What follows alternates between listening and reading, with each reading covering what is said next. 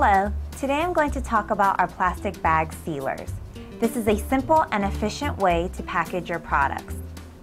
Here at Paper Mart, we not only sell the plastic bag sealer, but we also sell the sealer tape that goes along with it. As you can tell, there are three different colors.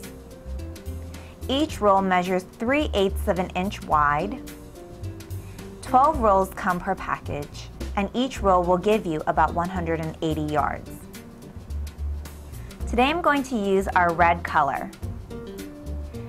Now the way I feed my tape into our plastic bag sealer is by first removing this little piece on the end, placing it in the middle of my roll of tape, and sliding it back in. Now I'm unraveling my tape, making sure that the adhesive side is on top, and I'm going to lay it over the yellow area. Now this plastic bag sealer is perfect for sealing bags of all different sizes. For example, if you have a large bag that you need to seal, simply take the bag, gather it on the top, Give it a little twist. And make sure that the twisted area is right above the slot. And what that's going to do is when you push down,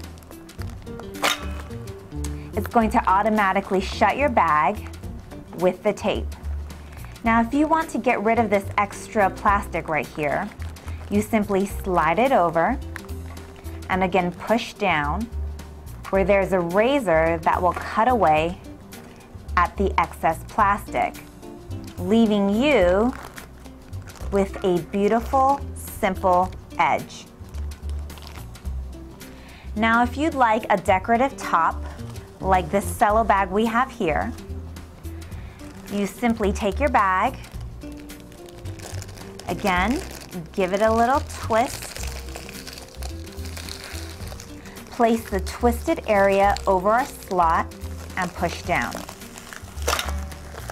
And instead of sliding it over to cut away this area, you simply slide it out. And as you can see, you're left with a beautiful seal with a cute top.